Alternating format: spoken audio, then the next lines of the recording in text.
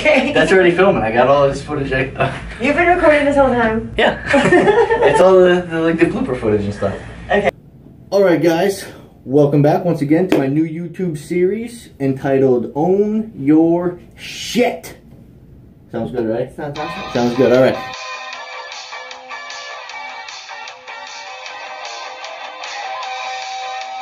So today we have trainer and health coach Nichole. I'm not gonna I'm not gonna butcher your last name. So how do you say it? Malkiel. Malkiel. So we have Nichole Malkiel, um, and she is the owner of Shape Your Being. That's correct. Shape Your Being LLC. I, I put this uh, camera angle because I really like the dream big, start small, act now.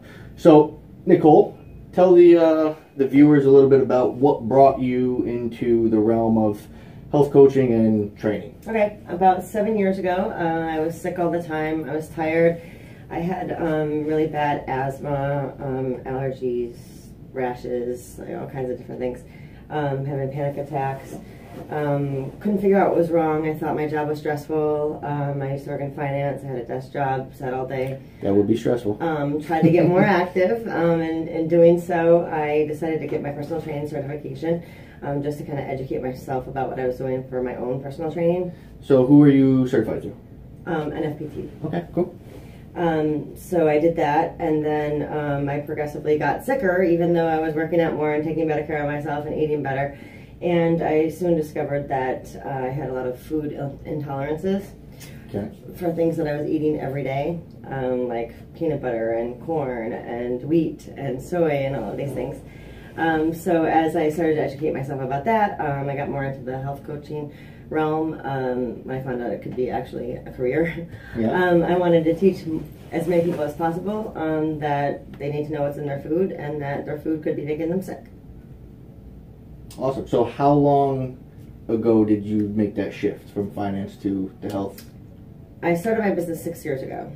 Okay. Um, so this all started about seven and a half years ago um, when I was trying to discover, you know, what was making me sick and why I was so run down and tired all the time and stressed out, even though I didn't feel like I was stressed out. Okay. So, I'm gonna assume that you probably had allergy testing done and, and all that stuff, and that's kind of what determined some of your intolerances and the stuff you shouldn't be eating that you were eating. Exactly. Okay. So, what kind of, I guess, steered you?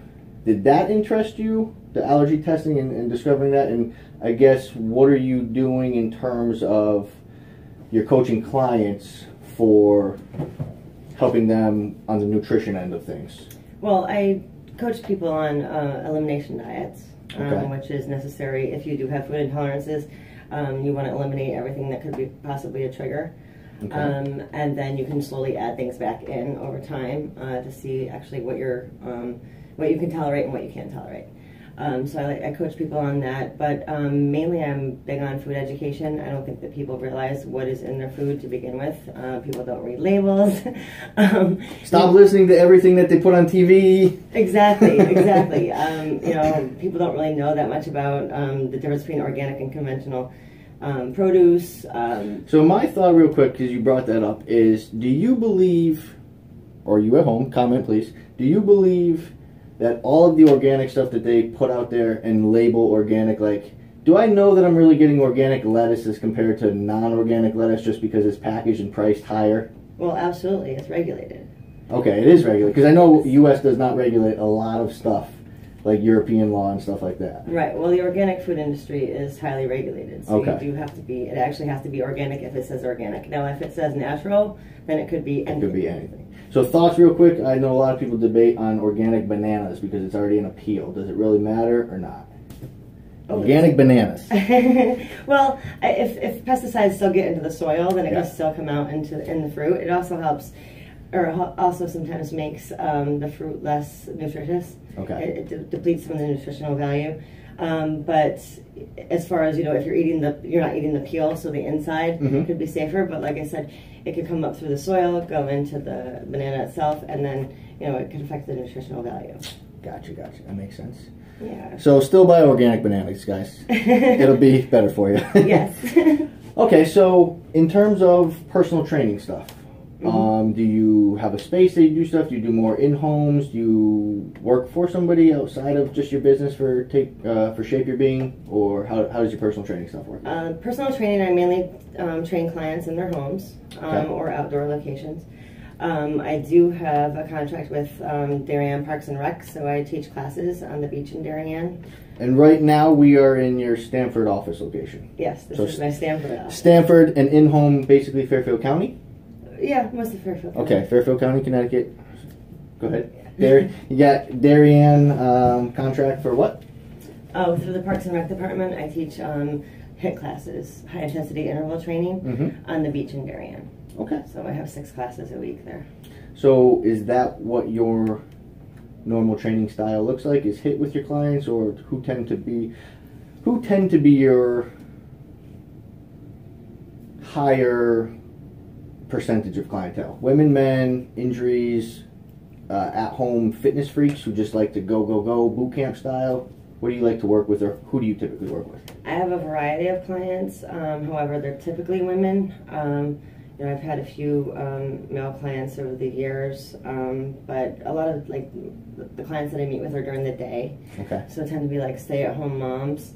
hmm Um, but I do have um, male clients who are just, um, you know, hardcore, want me to come train them for half an hour or something before they have to be at the office, uh, stuff like that. So um, I do a lot of HIIT training um, myself personally, but I think it depends on the client. I have clients who are, you know, um, more active than other clients, so I'll do more HIIT training with them. If they're, it depends on what their goals are, really. Right. Okay. Because I, I mean, if you have someone who wants to train for a marathon, HIIT training is not really going to be their number one, t- you know.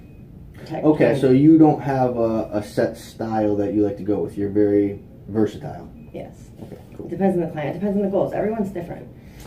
Totally. One of the things that I love about being in this industry is that you know everyone's an individual. Mhm. So what works for you may not work for me. What works for someone else, you know, may not work for for me. You know, it's always different. Body's always changing. Everybody's different. Biochemistry is different. Hundred percent. So. So like, well, it took me. So I've been doing this for eight or nine years now, going on, and it took me from wrestling, some neck injuries, a torn knee, and a really jacked up ankle to really say, okay, my niche. I like movement therapy, pain management, um, mobility work, stuff like that. So I do have people that come and say I want to do bodybuilding show, and I, you know, I at this stage I'm more than happy to refer out. So like you say, marathon runners or something like that. Right. I will train for corrective movements, and I will I will help for mobility and restoration. But I don't want to put you on a program, and I don't like that's not what I like to do for me. Right. So good to know that you like to do different versatile stuff. Because if I ever come across people that are in the Stamford area or local that I don't like to work with, I always guys the whole re- the whole reason for this series and you know Nichole reached out to me to to be a part of the show is because of collaboration. So networking and collaboration is huge. So just you know keep that in mind. Don't um, don't put yourself into a box and think that you're better than other people. You know you never know who can who can offer you what. Right. Exactly. And I think that stuff like this is a very personal thing.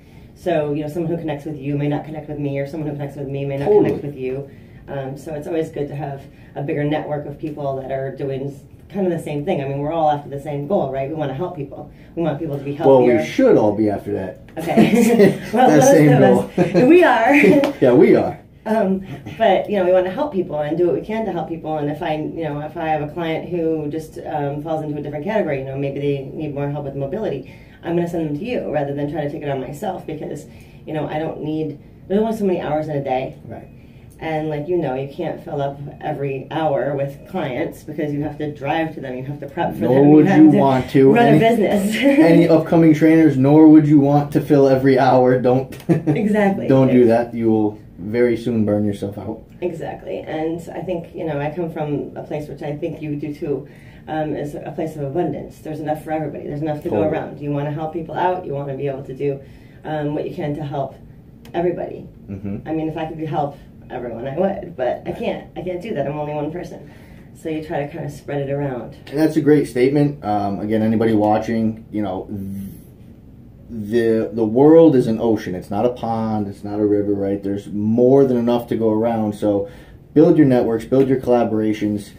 Don't limit yourself by putting yourself in a box of you know just staying to yourself or thinking that there's nothing out there that anybody else can offer you differently, no matter how much you think you know about one thing. So, so we do HIIT training, we do health coaching. Now, take me through like a well, a where are you getting where are you finding more of your clientele coming from?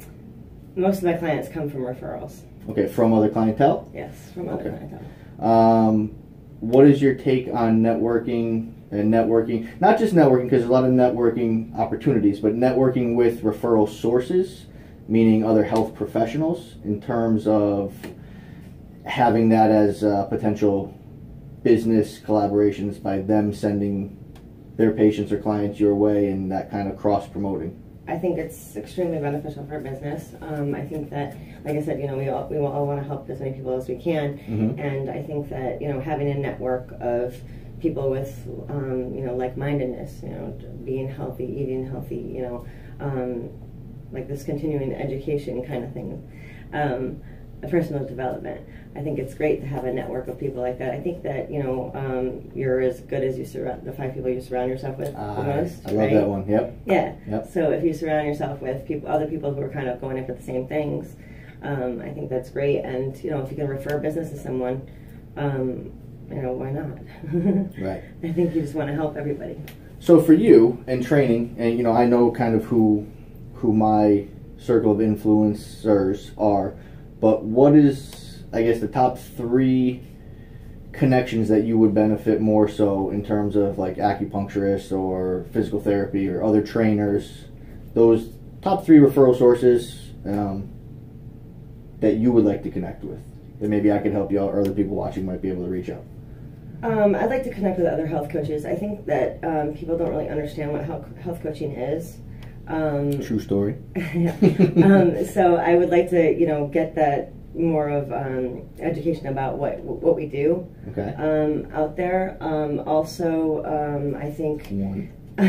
along with um, you know personal development, I I would like to be um, connected to, to more life coaches. Okay. um, because I think that you know um, health and fitness um, are definitely related to um, the mind and balance, finding balance in your life, and I think that um, you know having a, a network of life coaches that could you know maybe help with um, getting giving me some referrals or whatever, and I can too because even as a personal trainer, a health coach, any of those things, you always end up being a life coach because you end up helping people and a psychologist and a therapist. as therapist, exactly, exactly, all of those things.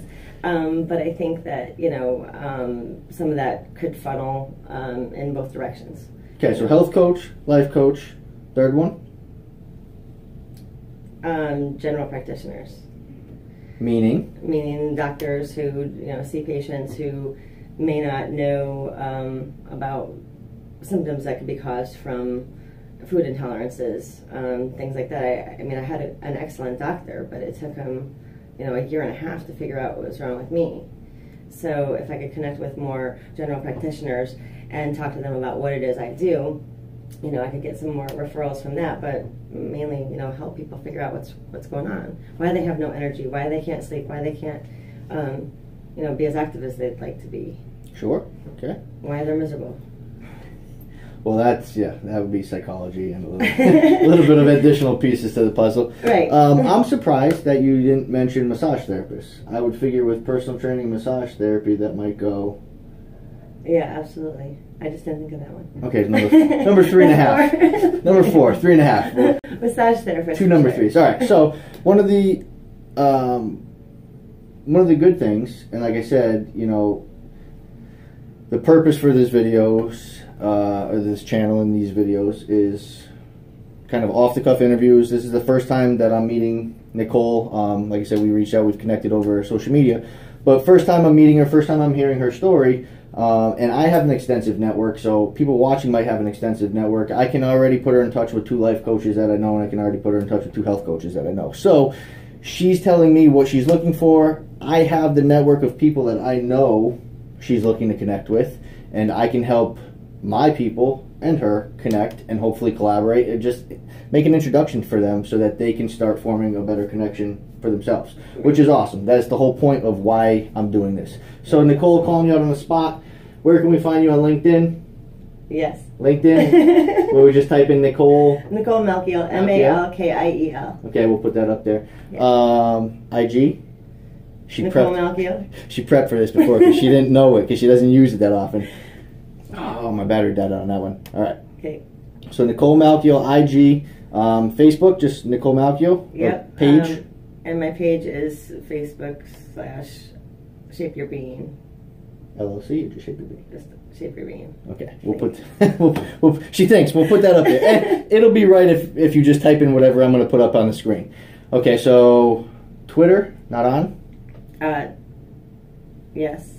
Yes, you're on Twitter. Yes. Under. I don't know. Okay, so we're, we're gonna throw that one up. These these women don't know their Twitter. My last Amanda didn't know her spot. Twitter. Too much either. pressure. okay, so we're gonna put all that up there. Do you have a website? I do. It's um, www.shapeyourbeing.com. Okay, perfect.